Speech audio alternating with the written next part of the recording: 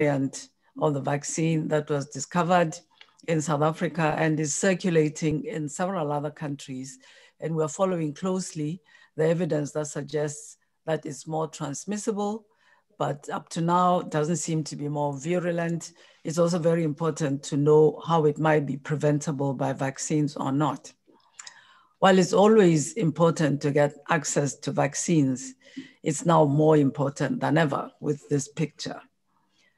What we are seeing now globally is not what we had hoped for. So we first, not me first, is the only way to end the pandemic. Vaccine hoarding by countries will only prolong the ordeal and delay recovery for Africa and also for the whole world. It would be deeply unjust if the most vulnerable Africans were forced to wait for vaccines while lower risk population subgroups in wealthier countries are made safe. Only through global solidarity will we end this pandemic. And the COVAX facility, which is co-led by CEPI, Gavi, and WHO, is laying the groundwork for equitable access to the vaccines. In Africa, COVAX is targeting phased delivery of 600 million doses by the end of 2021. And I'm sure we'll be hearing more from Thabani about this. This is based on two doses per person and will cover, is aimed to cover the initial 20% of the population in African countries. An initial 30 million doses are expected, and I say this with some caveats, to start arriving in countries by March. These are intended to prioritize healthcare workers and other high priority groups and then expanding to cover additional vulnerable groups. But in the meantime, we're working very hard on preparing for the delivery and the use of these vaccines that are those vaccines that are most suited to our context and to rolling out strong delivery campaigns. It's often been said that acquiring vaccines is not enough. It's an important first step. Getting the vaccines into the arms of people, vaccinating people is extremely important. We've assessed that regional readiness looking at different areas to deploy the vaccines is currently at about 42%. So this is a kind of composite estimate looking at different aspects of being prepared to deliver the vaccine. This is an improvement of the starting point of 33% about two months ago, but we still have quite a lot of work to do to reach the desired benchmark of 80%. So we in WHO with our partners in UNICEF and others on the ground are working with countries to develop their national delivery plans, to train healthcare workers, to strengthen health delivery capacities, to engage communities, and to address vaccine hesitancy, and to have a regional regulatory platform to support approval processes. So the step of approving the use of the vaccine in each and every country is very important. And we're supporting our member states to do that collectively. This will speed things up. At the global level, WHO is pushing to get data from vaccine manufacturers so that we can issue emergency use list listings to guide national regulatory approvals. While the COVID-19 vaccines are a game changer, it will take at least until the end of this year and possibly longer to roll them out widely for African populations and communities. So it's very important that we continue to live the COVID 19 new normal.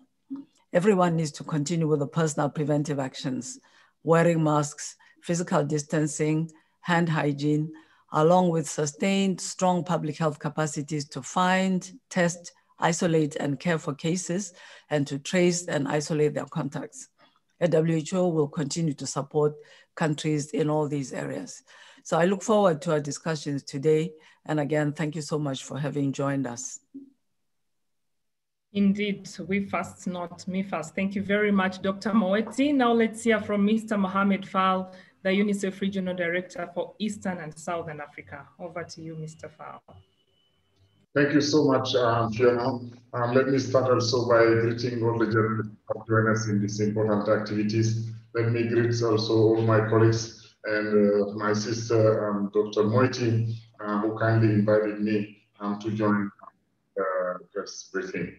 Uh, one point just to echo what uh, Dr. Moeti mentioned in the beginning it's not me first, but it's we first. I think we have a moral obligation to look at the equity when we look at uh, the, um, the vaccines, uh, the access to vaccines, and not leaving anyone behind. But it is also important that we understand that, as we have been saying from the onset of this pandemic, no one is safe until everyone is safe. Moving and continuing the global uh, um, engagement, um, continuing um, to promote the solidarity, continuing to promote multilateralism would be extremely important step um, before we get rid of um, this pandemic. And I think that's why I'm happy that today we are joined by Gavi, we are joined by WHO and UNICEF lending its voice also um, to this initiative. And when we look at also how are we going to support African countries, knowing also that vaccines and immunization is not new to the continent. I could say that even the continent, in many regards, is much better prepared than any other part of the world to engage in this important uh, undertaking. Back to you, Fiona. Thank you very much, uh, Mr. Fall. And to our final speaker, Mr. Thabani Maphosa, the Managing Director, Country Programs Gavi, the Vaccine Alliance. You have the floor.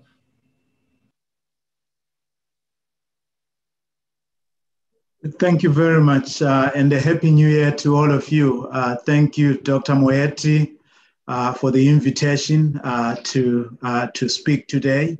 Uh, indeed, it has been Uh, a long 2020, uh, uh, and so when we look at 2021, I think the spirit is that while the night has been long, dawn is coming.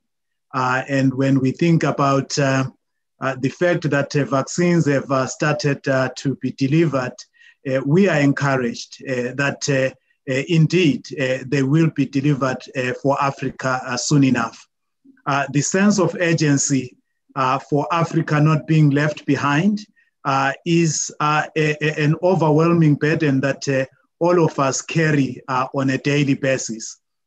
and we very much remember uh, the period of HIV and AIDS uh, when Africa was left behind. And uh, this time, uh, I think the perspective is that uh, never again uh, Uh, will Africa need to be left behind uh, uh, too far. I must also take this opportunity to say that Dr. Moeti spoke about the COVAX facility that is co-led by WHO uh, CEPI and Gavi. Uh, this uh, facility has only really been fully functional for three months. and the progress that we have made up to this point Uh, is remarkable. Uh, this has been achieved uh, through our, our joint partnership uh, at a global level for introducing what is a truly a global solution uh, for equitable access. But it has also uh, been achieved uh, with uh, countries making their commitment and making sure that we use the ability for a bargaining and a buying power of a collective. our goal is to deliver 2 billion doses of safe and effective vaccines uh, in 2021, including 1.3 billion to 92 lower and middle income countries uh, which we call the Gavi COVAX Advanced Market uh, Commitment uh, countries. Uh, and this uh, is to cover uh, the first 20% as we support Africa Uh, to move uh, towards uh, the 60%. the good thing about the COVAX facility is that it is just the beginning, but it is a program that runs multiple years. We are not yet where we want to be, uh, but I'm happy to say we are on track. Globally, we have secured access to 2 billion doses, as I've said. We have raised $6 billion, $6 billion uh, to fund procurement, readiness, and delivery of doses. If we are successful in our fundraising, we could have access to even more doses, bringing the total available to probably 1.785 billion uh, doses uh, for AMC uh, countries, or 27% of the population. This may not happen overnight, but as much as we wish uh, for it to do. But as uh, Dr. Moeti also pointed out, uh, the readiness uh, by countries uh, is something that uh, we have invested in. We do not want to have an excuse when, the when the vaccines arrive for countries not to be able to roll out. So we see this as a challenge, but one that is not insurmountable if we work together. And in the meantime, it is important that uh, we work together to manage uh, both misinformation and to encourage the right behaviors uh, for making sure that uh, we fight COVID. Uh, I'll return back to you, moderator. Thank you. Thank you very much, Mr. Maphosa. Quite poetic, poetic right there, though the night may be long. Dawn is right here. Now that we've heard from our panelists, it's your time to ask questions, our journalists. And to do this, please remember to either raise your hand in the chat function or use the question and answer function in the Zoom application. And also kindly remember that we need to provide a name and the news organization you represent in the Q&A function to be all be identified uh, as, as a reporter in the chat function. We are also joined in the studio by Dr. Richard Mihigo, the WHO Program Area Manager for Immunization and Vac Vaccine and Vaccine Preventable Diseases, who will also be answering uh, your questions. Uh, to start with, I'll start with um, Shelleygan Petersen from the Namibian. Please go ahead, go live with your question.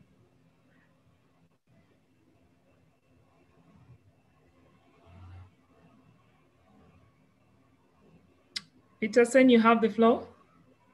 You may need to unmute yourself.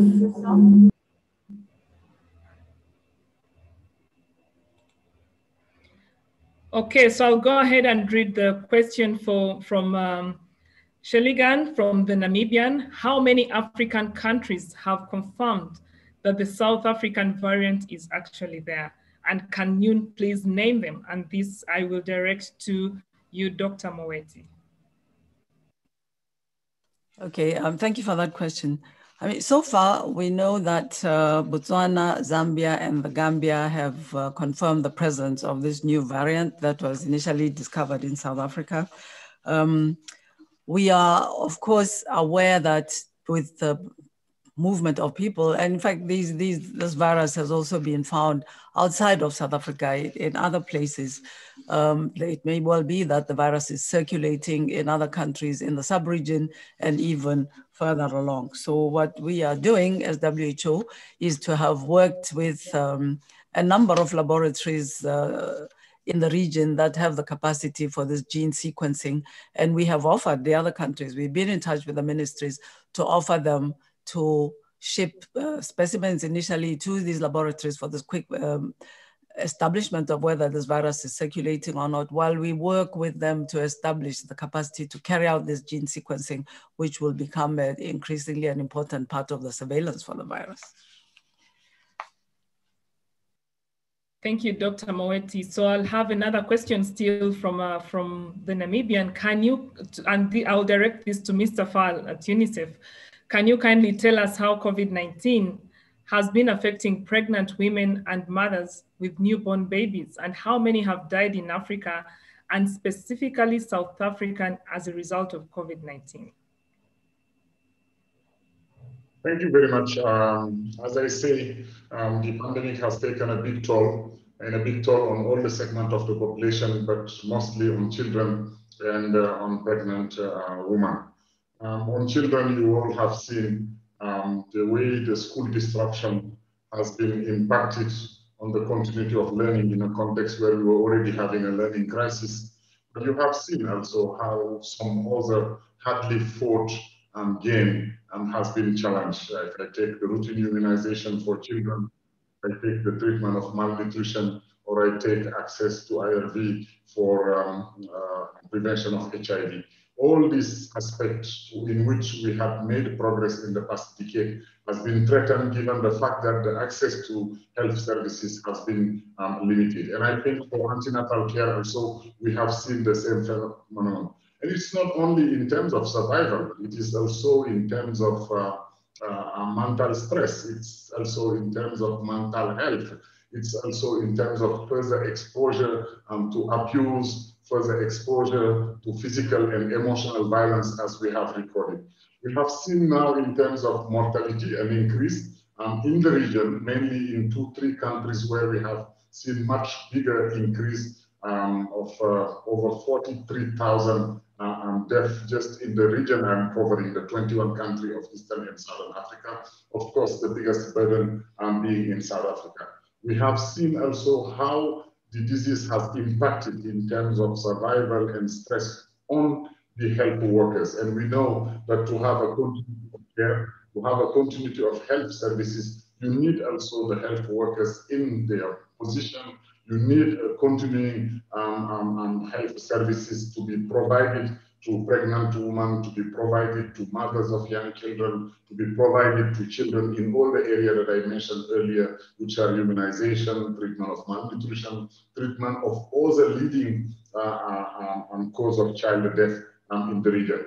We don't have all an exhaustive um, statistic on the impact on those aspects, but it is evident that uh, um, everything that is related to care, to survival and to protection of children has been shaken and has been impacted badly um, in the past nine to 10 months. Now, seeing the new surge, seeing the current situation we are in in the new year, I don't think that threat has gone. That's why moving toward the vaccines, we need also, as Dr. Moeti said, to keep the precautionary measure and make sure that we are still in this situation. Over to you, After. Thank you very much, Mr. Fall. And now we go to a question from Jean Richard from uh, Radio France International. And this goes to you, Mr. Maphosa. How many countries in Africa want to produce vaccines themselves? Which vaccine and for how many doses produced per month? To you, Mr. Maphosa. Uh, thank you very much. Uh, I think that uh, this is a long-standing question uh, in terms of uh, production of vaccines in Africa. Dr. Moeti would actually be well placed to respond to some of the conversations that are happening on vaccine production in general. but maybe let me speak in specific terms. Uh, we are aware that uh, Johnson & Johnson uh, will be producing uh, vaccines. Uh, I'm not sure of the volumes uh, at this stage, uh, but uh, they will be producing from South Africa for the global supply, for part of their global contribution. Okay, thank you, Dr. Moeti. Do you have another an, an extra comment to add to this? Um, yes, thank you very much. No, I, I do not have much more specific information to add. I mean, I, I, I do agree very much with uh, Mr. Maphosa that that question of um, moving towards regional continental production of vaccines uh, in general has been discussed uh, in African countries uh, very much uh, for quite a while. There's been, uh, I think, progress in terms of the establishment formally now of the African Medicines Agency, which is going to play an important role in supporting this, including the, the regulatory side of things. We do have some countries in North Africa that are able to produce some vaccines, uh, but as far as I know, the only uh, potential for production of this COVID-19 vaccine now is what was mentioned by Mr. Posa, by Mr. Maphosa. Uh, what I hope coming out of this is that some of these discussions that have arisen in the context of this emergency of a pandemic will be sustained so that investment is made, the partnerships between the governments and the private sector and investors are made. And the next time something like this happens, we do have the capacity and the possibility for more local production of these, of these products, which are so important, both for uh, universal health coverage and in terms of uh, pandemics and outbreaks. All right, so we have another question from uh, RFI from Jean Richard, and I'll ask this to you, Dr. Mihigo. So the question is, is there a possibility to do a quick change the RNA vaccines to adapt them to the variant in South Africa and deploy the vaccine where this variant is found? Yes, thank you very much, uh, Fiona, and for the journalists from uh, RFE. Um, before maybe elaborating on the change of the current uh, vaccine, I think uh, early indication are clearly showing that uh, the um, uh, existing vaccine will also be effective against some of these new variants. I think uh, um, what is more important for the moment, as uh, has been highlighted by Dr. Moeti, I think is to strengthen the capacity of countries uh, to be able, as part of the surveillance, to detect any new variants that may, may, may arise. Um, and if that surveillance is showing that some of these um, uh, uh, emerging new variants cannot be uh, uh covered by the existing vaccine, uh, the platform using the messenger RNA vaccine could, as uh, the journalist said, potentially, potentially be scaled up to cover existing new strains. But for the moment, I think the message I would like to convey is that um, so far, we, we, have no evidence that uh, um, uh, the current vaccine cannot be covered by the existing uh, uh vaccine. Over. All right. So next, I'll go live to you, Paul Adepoju, with the Lancet. Kindly go ahead with your question. Remember to uh, unmute your microphone. Thank you very much. Uh, I have a question on the latest announcement of the US government rejoining the WHO and its participation in COVAX. So I want to ask, what is the implication of this announcement for Africa? And uh, what is the latest regarding expanding access to oxygen to reduce COVID-19 deaths in African countries? Thank you.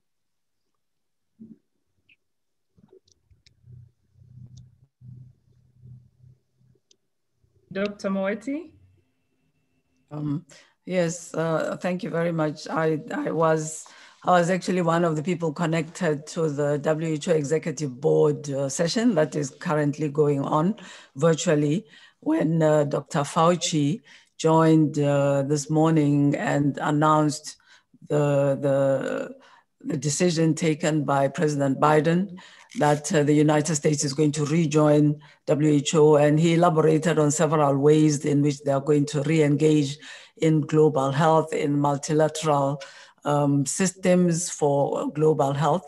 Uh, I think this is a very significant development. Um, first of all, the United States is WHO's biggest donor, so the potential impact on the financing of WHO and therefore our work was actually extremely significant after the decision was taken to, to withdraw from WHO. And then secondly, as we've said many times, the importance of this member state, which has a very extensive capacity in public health, in global health, in various institutions that have been working in the multilateral sphere with WHO, with other partners, has been extremely important. So it's important not only for the funding, but also for the engagement of all the institutions, the experts that work in various WHO uh, uh, advisory groups, expert groups, and also work with us as we work with other member states. For the African region, I can say this is very important because the, the US has been one of the biggest partners of supporting some major um, health development actions in Africa. And if we are working with them as a member state of WHO, I believe it facilitates even this bilateral support. Their joining COVAX is also very important because again, it's a signal of uh, a wealthy nation uh, following that principle of uh, equity and global solidarity and contributing in various ways, including financially, to support other countries to have access to this, uh, these important tools. So for, for WHO and for global health, I would say this is a, indeed very important and very significant development. Thank you very much, Dr. Moeti. We have a question from Alicia Mihami for Allo Docteur Africa. It's in French, but I'll ask it in English because I would like you, Mr. Maphosa, to answer this question. How do you choose the vaccines that will be distributed via the COVAX? Thank you very much for that question. Uh, the COVAX uh, looks at um, uh, a broad set of uh, vaccines. Uh, and the intention is to uh, understand that there will be attrition. Uh, we will lose some vaccines along the way. Uh, and so we have got to make that pool as broad as is possible. But some of the other things that obviously are, are, important finally when vaccines get to come out to the public uh, are efficacy, Uh, safety of vaccines, uh, easy of uh, handling, uh, affordability. so those are some of the parameters that we, we, we, look at. in the context of Africa, we have, as the Vaccine Alliance, invested uh, in, uh, in a lot of cold chain. Uh, and so the question is, can we actually bring vaccines that can leverage the infrastructure that already exists, but also working with countries. a specific example here would be the countries that have had Ebola, DRC, and other countries that can actually also uh, the ultra cold chain because they have handled the same uh, for Ebola uh, as well. Uh, so it's a broad set of vaccines uh, that, uh, Uh, in dialogue with countries, uh, countries guide us uh, in terms of what their preference is for their population. But we want to make sure that we, we broaden the basket so that there is choice. as we know, that supply uh, is always or was always going to be constrained, uh, having a number of choices uh, would help us to actually ramp up faster. Thank you very much. So I would like to go live now to Dayo Adesulu uh, from Nigeria. Kindly ask your question.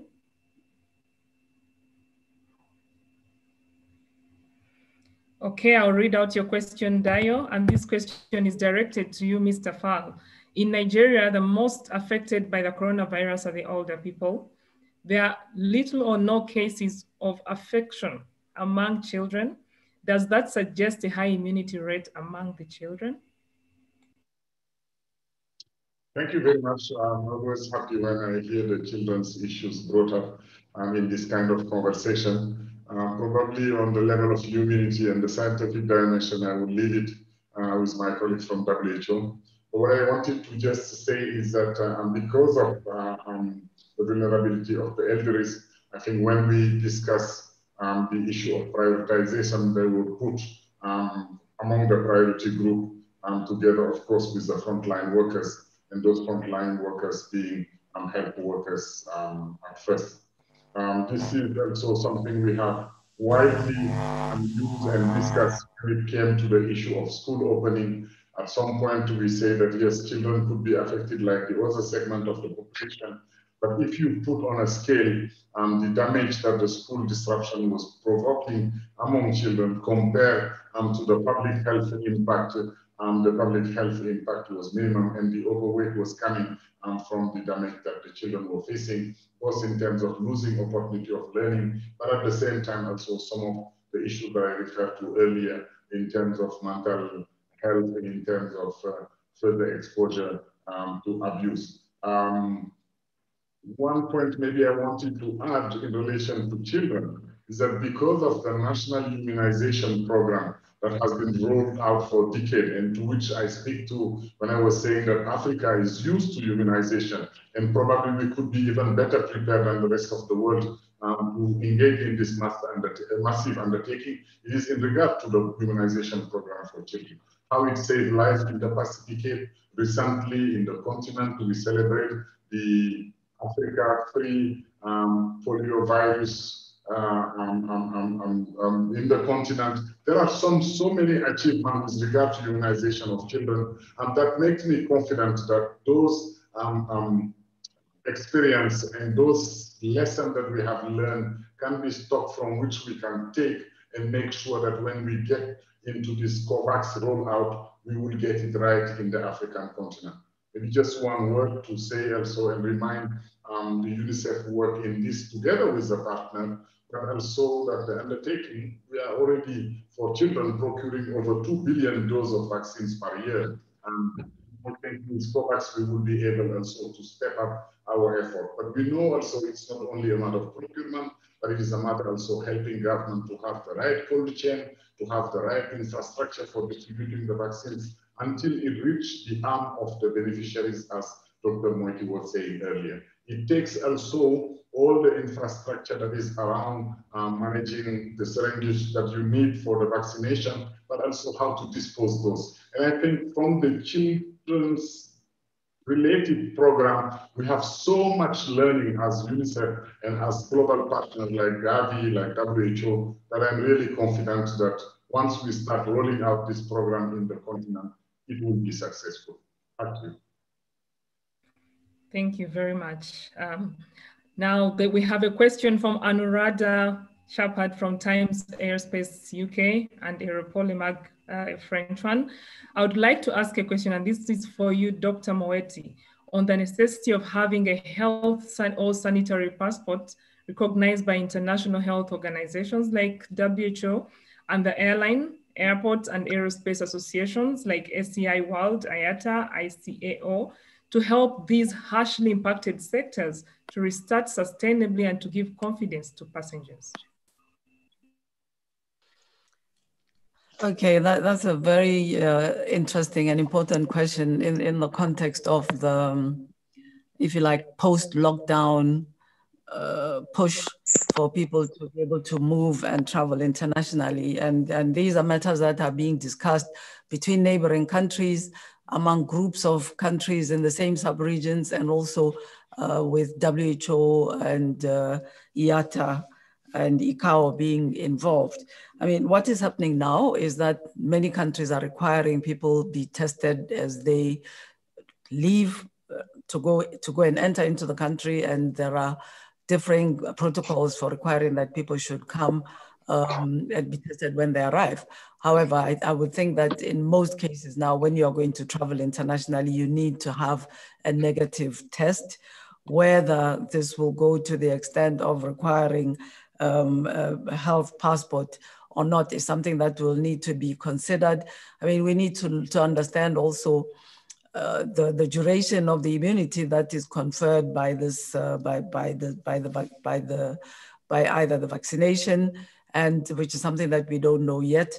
And also if you have been tested and have a negative test you are negative for how long? I think all of this is something that needs to be studied to be monitored for a, a type of vaccine like this one for now, uh, in terms of the long term, we only have uh, the requirement uh, of uh, yellow fever vaccine in many countries, which we know confers lifelong immunity. What we are encouraging, though, is that we can use technology to make some of these uh, protocols more efficient um, and also more reliable. There is a lot of discussion about fake certificates of being uh, of being negative for COVID-19. And we believe, and we have, we're talking to governments and also to sub-regional organizations that if all of this is, uh, if you like, uh, put into technology, then it's possible for reliable results to be sent electronically wherever they need to be seen uh, to avoid people carrying a piece of paper, which may be a fake piece of paper, which has been a, a problem up to now. But certainly there's something that will need to be considered as we are really pushing for opening up of uh, economies, people being able to move around internationally as the, the vaccines are being rolled out. All right, uh, let's continue now. We go to live to Falila Badamasi. I'm sorry if I pronounce your name wrong, from France Info, Info Afrique. Kindly go live with your question. Okay. Uh, do you hear me? Yes, we do. Yes. Um, hello, everybody. I will ask my question in French. Please so go my, ahead. Okay. It's about the. Um, uh, we, we, read, and uh, j'ai lu récemment dans Reuters que les vaccins seraient disponibles pour les pays africains entre 3 et 10 dollars, selon un document que s'est procuré l'agence britannique auprès de l'Union africaine. Il semble euh, que les pays africains vont préférer un vaccin qui est moins cher, celui d'AstraZeneca, qui serait donc à 3 dollars.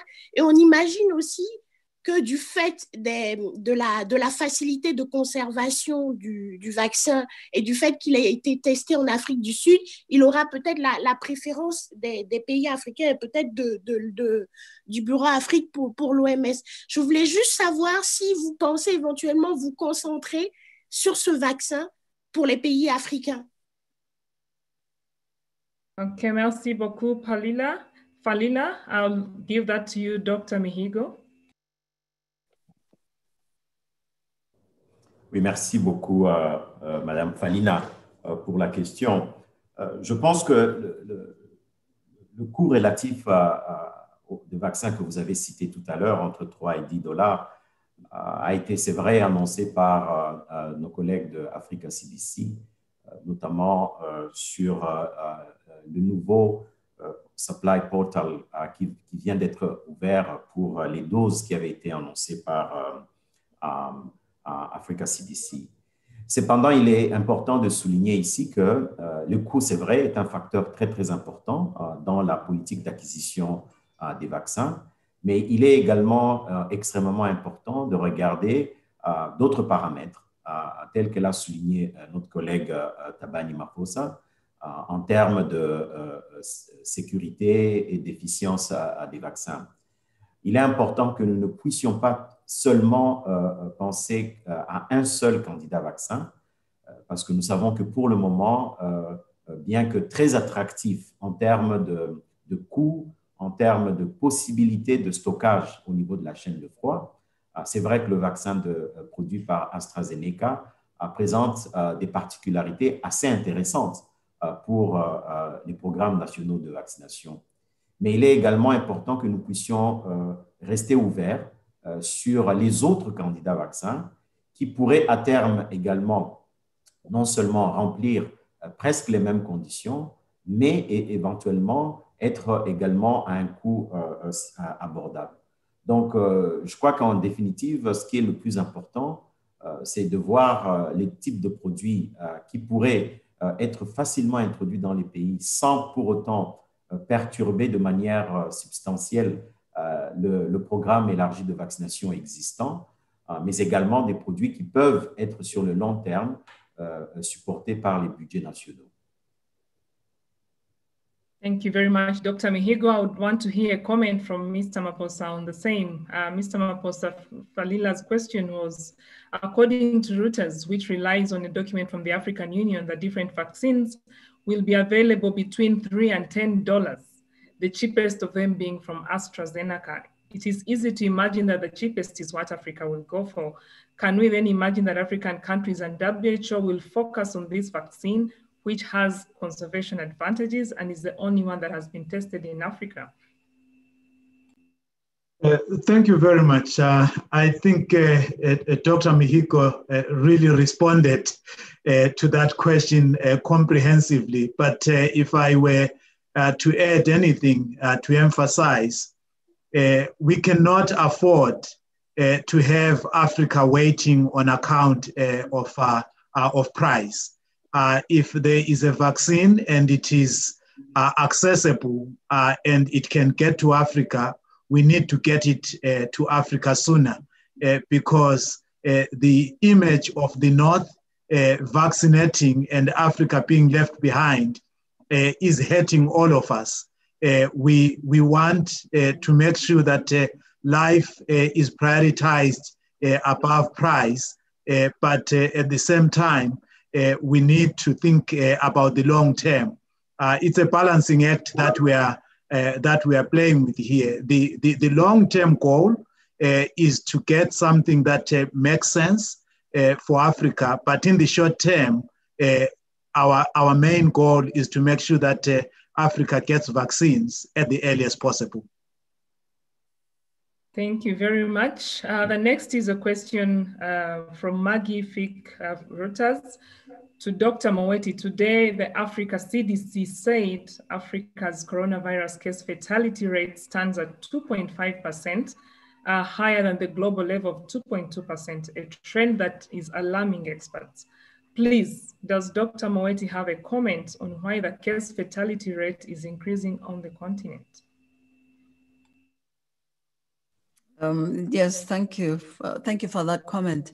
I, I, think looking back on the, the case fatality rate uh, on the African uh, continent, uh, quite a few months ago, it was averaging around two, 2.1% and was lower on average than, than, than, than uh, several other regions.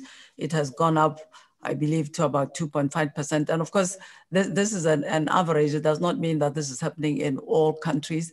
What we are seeing is some of the countries which are most severely affected, that are affected by the, by the second wave. So a very large number of cases and to some extent, Uh, challenges in the health system in terms of being able to provide appropriate care where the fatality rate might be going up. This is the, the, the, case, I believe, in South Africa. It's also the case in a few other countries, the Central African Republic and others.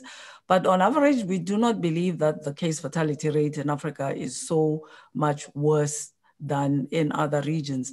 I think we always need to continue, even as we look at a vaccine, to look at the essential care, the quality of the care that is being provided, uh, the, the addressing the many clinical manifestations of this illness, making sure that there is sufficient oxygen. This is starting to be a challenge in some cases, and uh, making sure also that people know and access treatment in time.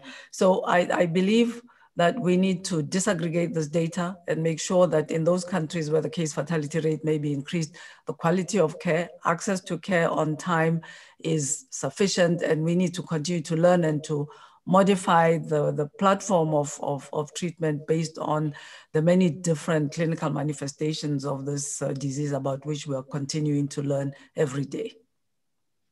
All right, and I have the next question for you, Mr. Fall uh, from Martin Amrein, um, NZZ am Sonntag in Switzerland. How can African countries use the experience from other pandemics to handle the COVID-19 pandemic? And which countries do an especially good job in handling the COVID-19 pandemic in your view? Thank you very much. Uh, I think it's a good question. Um, I'm not sure that I'm in a position to rank for the moment as they have uh, responded to the crisis. We have seen countries in the beginning that have responded um, very well and with a limited number of cases and a very controlled transmission in uh, limited clusters. But uh, soon or soon after that, we saw um, a new spike or surge in the number of cases. Uh, what I can say is that um, what helped, I think, the continent, and we did not highlight it very much also and enough, is that uh, Africa throughout its history has been struggling uh, with uh, outbreaks, with uh, diseases, um, the recent one being Ebola um, in West Africa a few years back, but recently also in different parts of DRC. And we have seen how, uh, with the support of WHO, support of all the partner government managed to step up their effort to control and address properly um, those diseases. That's what I referred to earlier. So when I talk to vaccine preventable diseases, have been a major killer of children a few decades back and on which we have um, experienced and gone through several uh, major uh, um, gain. Uh, and I think these are the, the, the elements that, for me, um, prepare Africa to respond to the COVID. Um, governments, communities, people are confronted with several diseases that they used to um, go through or they used to address, um, mobilizing different segments of society. And I think that's really what is the stake today when it comes to COVID. What kind of lesson can we take from um, the previous um, fight of outbreak um, to bring them into this context? And that's why earlier also I was saying immunization is something we are used to in this part of the world. Um, all the challenge that goes with it, whether it is managing cold chain. Um, recently, I think between 2017 and 2020, we counted that over 47,000 refrigerators, including those that are functioning with solar power, was distributed across a number of countries in this region. We know also how to mobilize community, religious leaders, um, um, civil society to engage in addressing um, rumors that are around vaccines or hesitancy around vaccines. I work in Nigeria and I know what it took to roll out the polio program that led us to this great success that I referred to earlier. Those are elements, and also I have referred to the recent uh, um, um, um, um uh, fight against Ebola in a number of countries in West Africa, but also in, uh, in DRC more, more recently. Those are elements that I truly believe have prepared the continent for rising up to the challenge that we are facing with the rollout of COVAX. And also this long and established partnership through Gavi, uh, which facilitate easier access to vaccines for countries that are low income, the expertise of WHO, um, UNICEF know-how, and experience in procuring but distributing vaccines to the last mile. All of this together, I think, put us in a position where I'm really optimistic that the rollout, despite um, the importance um, undertaking it constitute, would be something that Africa will go through as we have done for other outbreak. Over to you. Indeed, that's quite reassuring, uh, Mr. Fall. So the next one goes to you, Mr. Maphosa, and it's from Amadou Kokaba uh, from uh, Sante Joseph and Quatre Info. Is there a system defined by WHO to rank African countries in terms of need for COVID vaccine? And if so, what are the priority countries? Uh, thank you very much. Uh, I think that uh, all countries uh, at this particular point, uh, the allocation of uh, COVID vaccine uh, globally has not uh, been based on epidemiology as a driver, but it has been based on this being a pandemic, where if one part is affected, all of us are affected. And so we are looking at Africa in a, in a holistic manner. Uh, and uh, yeah, I think that is the spirit uh, of looking at it, that uh, uh, we should not be leaving any islands uh, because, as Dr. Moeti spoke, the new variant that we see, if we can imagine that it was different and it was the vaccines were not effective to it, fortunately at this stage it looks like they may be, but if they were not effective to it and they came from a country that we deemed as not a priority, uh, we will all uh, be back uh, into another pandemic. Uh, so uh, we need to think as a global community as one and not in, in, in silos at all. Okay, thank you. So the next one is from Bad Kadis from Allo Docteur, pour vous, Dr. Mihigo.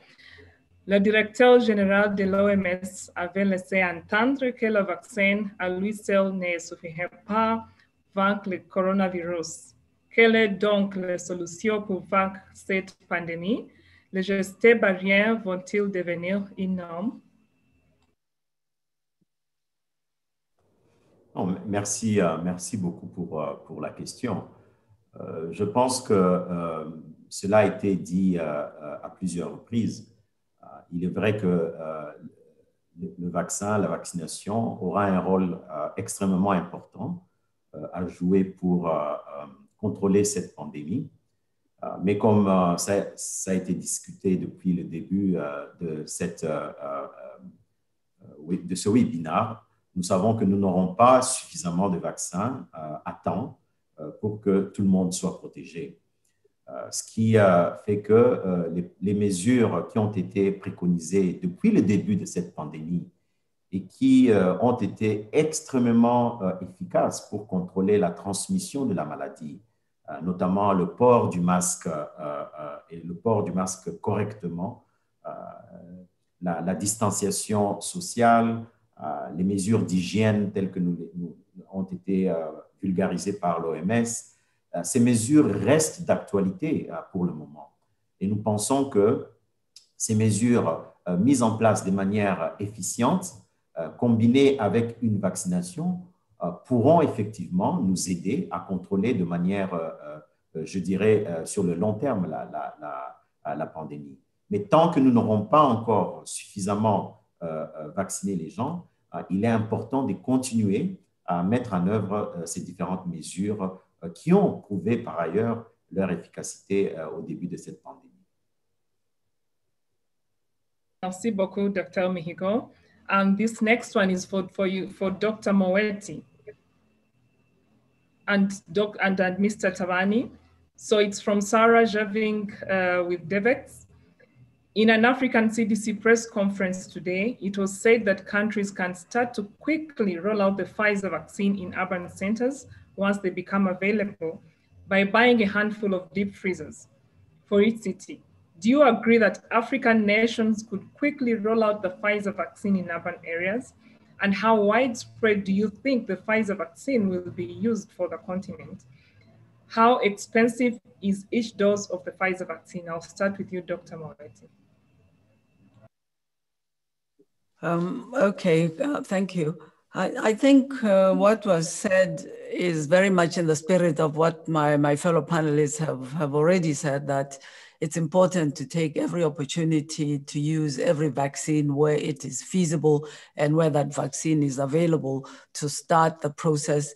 And with the idea that uh, we will need most probably to use a combination of vaccines in different circumstances where they might be more feasibly delivered. So I think particularly in urban areas where the, the requirements of um, the cold chain or the so-called ultra cold chain might be possible to fulfill, more feasible than it would be in, in rural areas. Certainly, uh, this, this Pfizer vaccine could be used.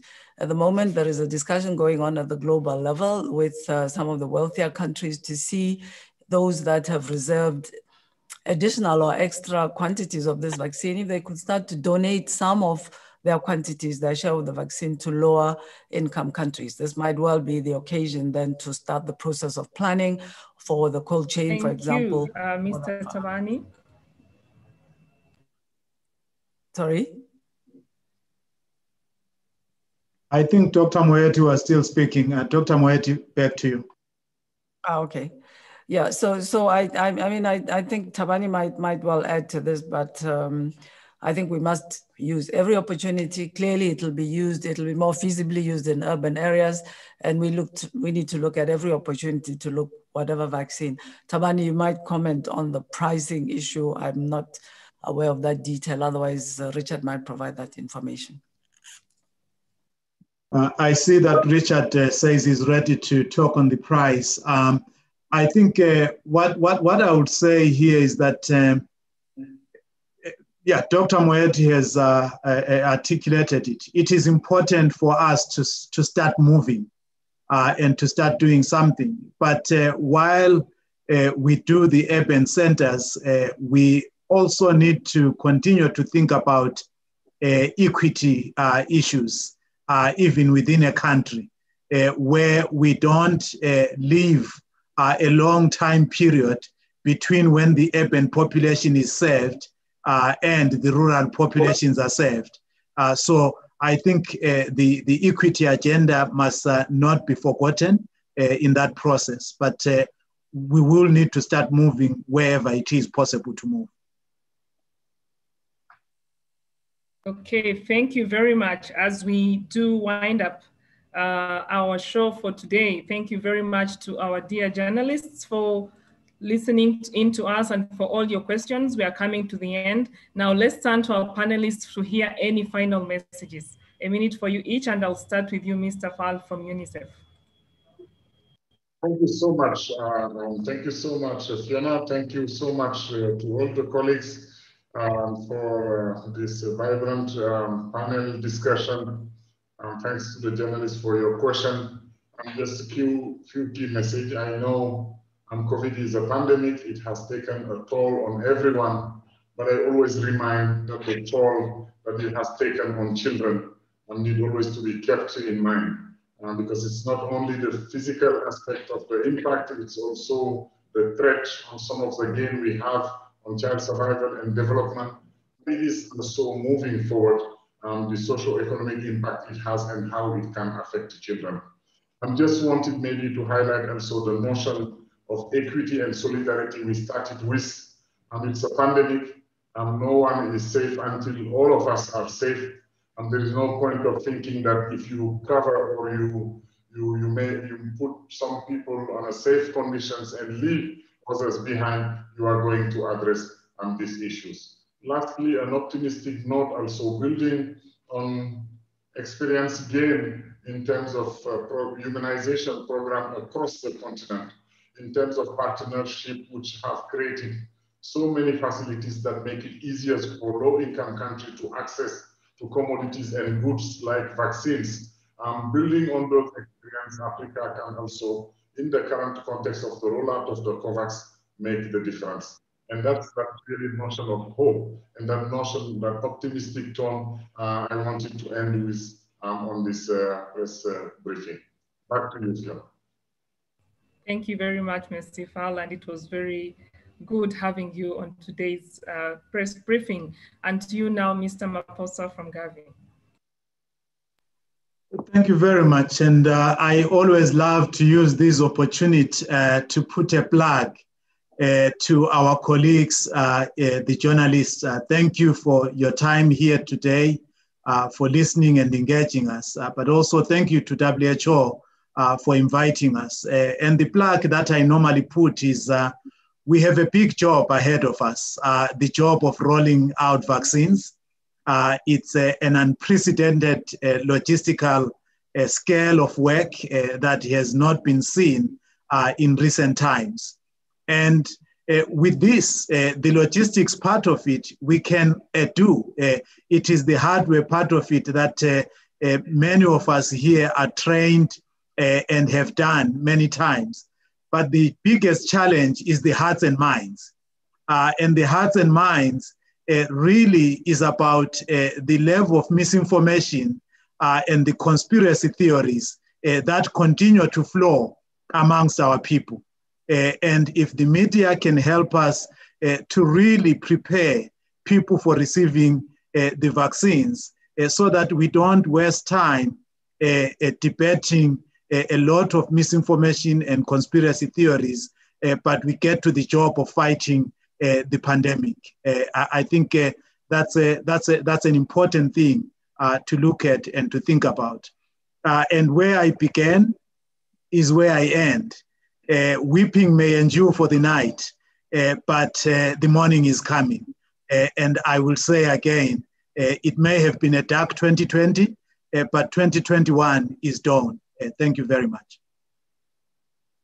Thank you very much again, Mr. Maphosa, with your prophecy and, uh, and, and, poetic words. So finally to you, Dr. Moeti, but there's a burning question for you that, uh, that Cara Anna would want you from the Associated Press would want you to also mention in your final remarks. Uh, Dr. Moeti, does the, has the WHO asked uh, this uh, Biden administration to share United States excess vaccine doses with African countries and what has been the response? Um, okay, thank you. Um, I, I, I, think that, uh, you know, the first of all, the, the, the, the US government was not part of the COVAX initially. So I do not believe that those types of conversations were going on. And uh, so far, the, the government announced this morning that it was rejoining WHO. I think it's early days for that sort of discussion to happen. I'm certain that in the process of continuing to mobilize uh, donations at the global level, certainly these types of discussions uh, will be taking place. I think just to end as well, uh, I'd, I'd, like to somewhat follow on, on what my two uh, co-panelists have said, that, you know, the situation is challenging at the moment, especially as relates to the question of equity. And as we see people on our continent watching uh, people in other places start to get vaccinated. And, and this can be hurtful, it can engender anger and feelings of being, as usual, left behind. What I would like to say is that first, we are not giving up on uh, global solidarity. We're not giving up on the question of working for this equity in the discussions going on with various case, with various countries. And then secondly, let's use this as an opportunity to really strengthen our preparing for when the vaccine arrives to be ready to deliver really strong campaigns, programs, so that it works well, it works efficiently, and we very quickly roll out the, the campaigns and cover all the people that we are aiming to cover at, at the times that it is planned to do. And then finally, I'd like to add my own voice around the communication by our journalists. So while we continue to uh, deplore and uh, be sorry about the fact that we are behind, please let's not plunge people into a state of despair. This is coming. The, the delay is a matter of some weeks or months. And if it helps us to be better prepared to roll out strongly. Let's prepare people to play their role to receive the vaccine and most importantly, to continue with those uh, hygiene measures and preventive preventive measures that will continue to be so important for a while. Thank you. And thank you again for having joined us. Thank you very much. Thank you very much to you, our panelists, and thanks for doing justice to the questions from uh, the journalists. And once again, dear journalists, we thank you for joining us and we don't take it for granted and see you next Thursday at the next press briefing. And thank you to Dr. Mihigo for joining us for this press briefing. Thank you. Thank you. Over and out.